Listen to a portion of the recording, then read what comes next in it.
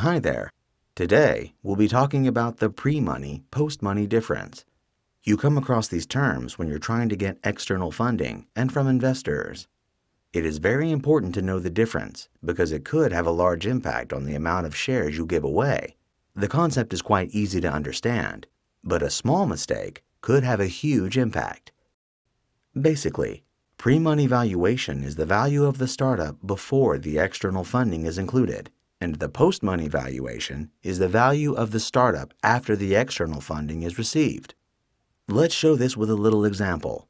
If a startup is worth 1 million and an external share investment of 250,000 is received then, if the 1 million euro is a pre-money valuation, the investor will get 20% of the shares. How did we come to that? I'll show you how. The value of the startup is 1 million, and then the external funding of 250,000 is added. So the calculation is 250,000 divided by 1 million plus 250,000.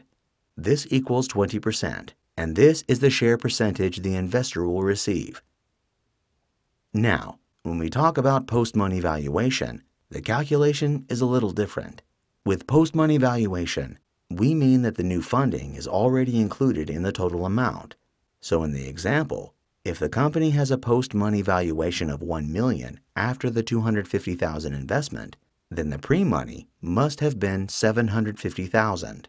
If you have agreed that the investor will invest 250,000 for a post-money valuation of 1 million, then the investor will receive, here it comes, 250,000 divided by 1 million. This equals to 25%. So you see there is a difference of 5% in what the investor gets, depending on whether the 1 million valuation is pre-money or post-money. Now, that is a big difference.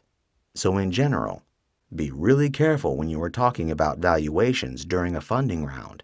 Make sure everyone knows whether you're talking about pre-money or post-money.